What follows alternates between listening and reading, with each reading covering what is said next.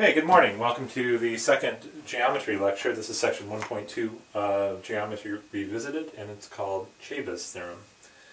Um, in order to understand this theorem, you have to know what a cevian is. And a cevian in a triangle is simply a seg line segment that starts at one of the vertexes and goes to the opposite side. So in this case, AX is a cevian, BY is a cevian, and CZ is a cevian. And here's the theorem.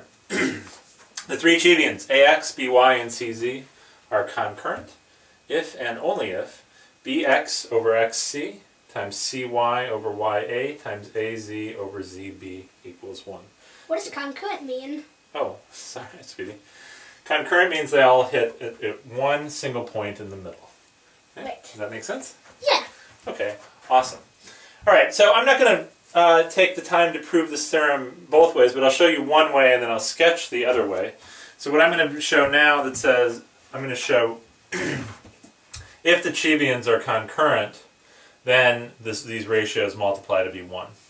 So let's take a look at how to do that. It actually is a fairly simple proof. It, really the only thing it involves is uh, the area of a triangle is base times height. So we're going to try to understand what bx over xc is.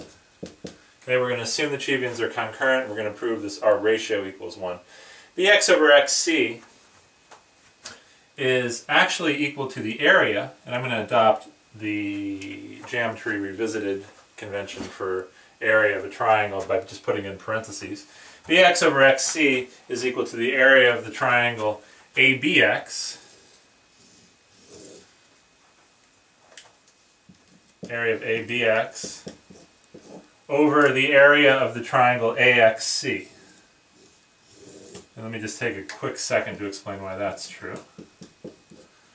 The reason that's true is the area of this triangle ABX is the base BX times the height, here. And the area of this triangle AXC is equal to the base also times the height, which is the same. So since the height's the same, the, the areas have a ratio of BX over XC. Now, you can see two other triangles in this picture, and I know it's going to get crowded, but you can see two other triangles in this picture that have the same ratio.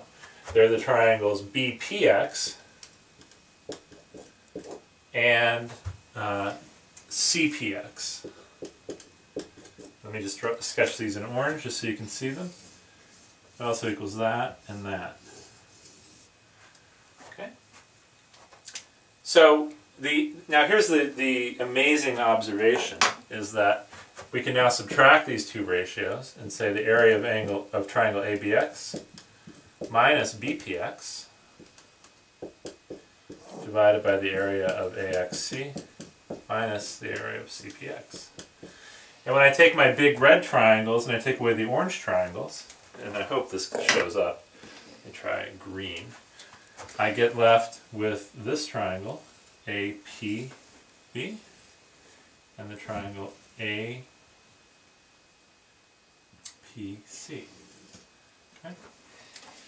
So believe it or not, this is equal to excuse me, APB, the area of triangle APB over the the triangle APB over let's call it APC. So bx over xc is equal to the ratio of the areas of the, of the two triangles APB and APC. So let me write that up here for a second. Now for, for yourself at, at home,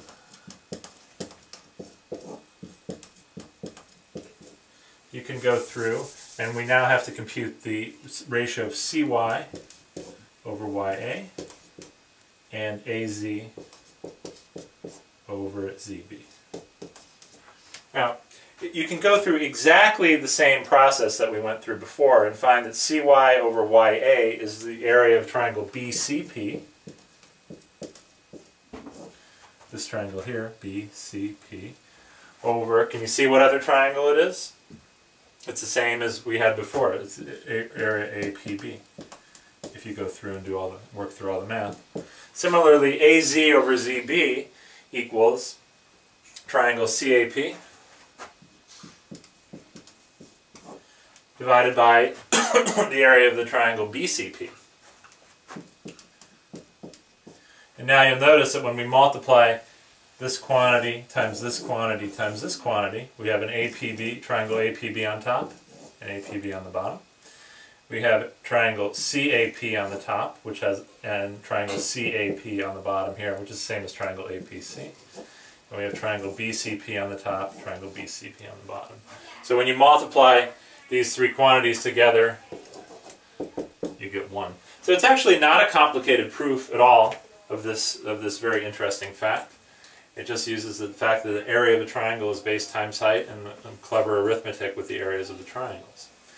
So now I said what happens if what happens if it's the other way around? If those ratios equal 1, let me take a quick break and redraw the triangle. Just turn the camera off while I do that.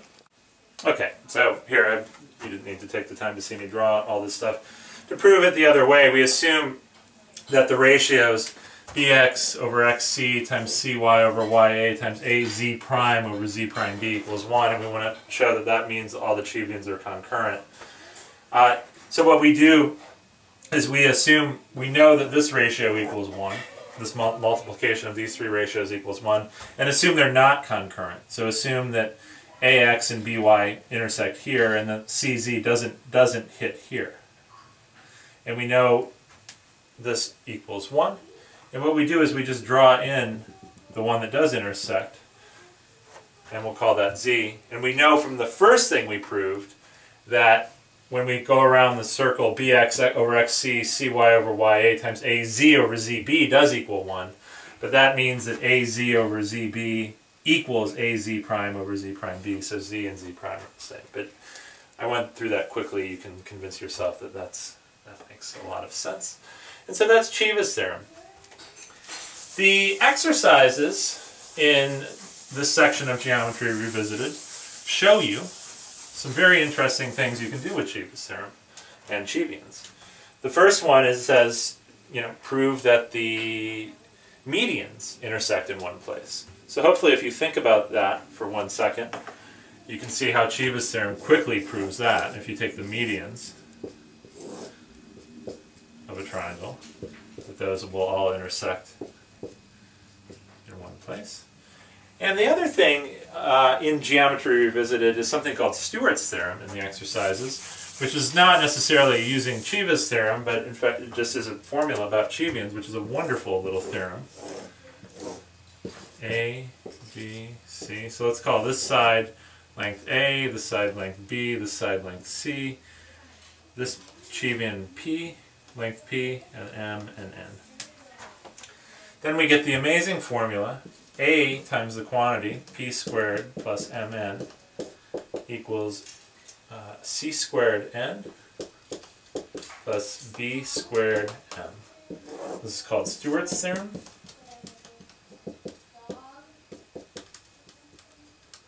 And it's a wonderful little theorem about cevians.